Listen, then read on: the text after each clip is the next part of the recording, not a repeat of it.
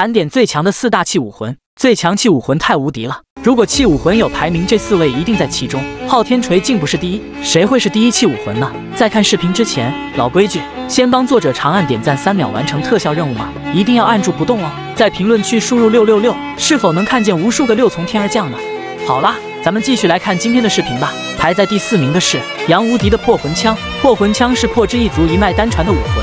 大师曾经说过，杨无敌的破魂枪是这片大陆上攻击力排名前几的。为了能最大限度地发挥出破魂枪强大的威力，杨无敌舍弃了一切防御，追求极致的攻击。凭借着强大的攻击力，他能越十级挑战，以自身八十二级的修为击败了武魂殿身为九十二级的蛇矛斗罗。此战也令身为敌人的千仞雪尤为赞叹。再来说说排在第三名的是谁？排在第三名的，则是剑道陈心的七杀剑。陈心是七宝琉璃宗的主要战力，乃是宗门的两大保护神之一。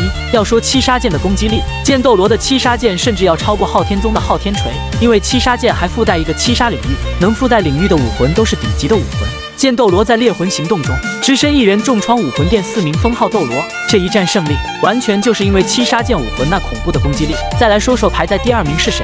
排在第二名的就是被人们所常说的昊天锤。众人看见昊天锤时，无不惊艳众人。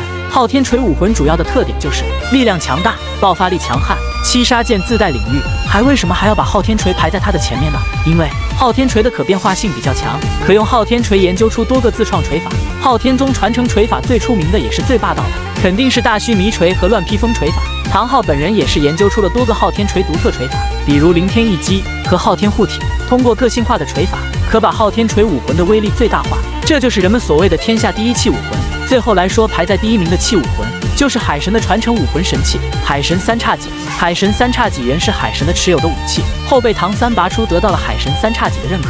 海神三叉戟重十万八千斤，握在唐三手里时只有一百零八斤。